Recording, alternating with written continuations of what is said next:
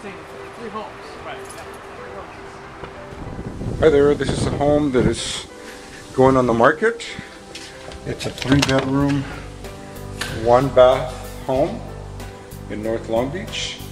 Again, this is resurfaced hardwood floors, the finished hardwood floors.